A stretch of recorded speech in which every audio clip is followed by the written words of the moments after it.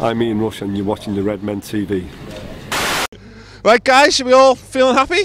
Yeah, okay, not too bad. Yeah. It's uh, yeah, it's been a better night tonight than we've had in most Europa League games. Yeah, oh, definitely. Like, I'm, I'm you know, we're through. Yeah, Job's we're, done. we're through. Um, yeah, we got there. I thought it was good. Some good individual performances tonight. I thought there was some really good players. Um, I think Lucas had a good game. I think Touré did well as well at the back. Yeah. Lucas had a good game, but he was prone to giving away loads of fouls. Well, that's, Lucas gives away fouls. The referee, as he was as well, giving everything. Doesn't how with Lucas chucking in tackles. Crazy because Joe Allen snapped someone from behind in the first half, not and get up, no problem, get you know free kick and whatever. Yeah.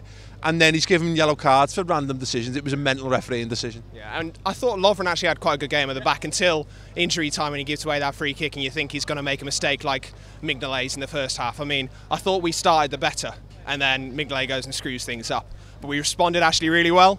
So getting those two goals before the break made all the difference. And then I thought second half we were the better team for the first 10 minutes. And if we'd got that third goal, it would have made all the difference. But the way the second half actually went, I think if it went on for another 10 minutes, we would have drawn. Think so? I reckon they probably would have pulled one back. Oh, ye of little faith. um, I want to know people's star performer on the night. Um, I'll probably go Benteke. I think he held the ball up well, and he looked. He was our biggest threat. Could have had a hat trick as well. He could have, yeah, he could have. Apart from that one that he put 10 miles over the ground. yeah, yeah, yeah. What about yourself? Benteke and Touré both did well. Yeah. Touré in the first half when he goes to the halfway line and he just offloads the ball and thinks, "What am I going to do here?" And then he just keeps on going forward, and it's like right in the box. He's about to score. I mean, He's 500 years old and he's playing one twos down the pitch. I, I, re- I reckon the ref, the referee definitely man of the match tonight. Oh, yeah, yeah, yeah. definitely man of the match. Most entertainment. yeah. Anyway. What can I just say one thing? Why isn't anyone singing at Anfield anymore though? What's going on there?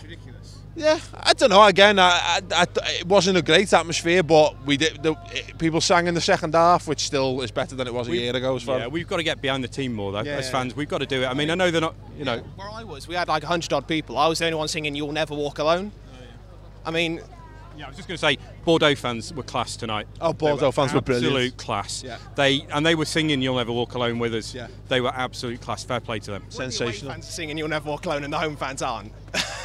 People need to book their ideas up. Absolutely, guys. Lovely. Much appreciated. Yeah, Thank you very care, much. yeah, see ya. Cheers. Cheers. Nice one, lad. Thank you.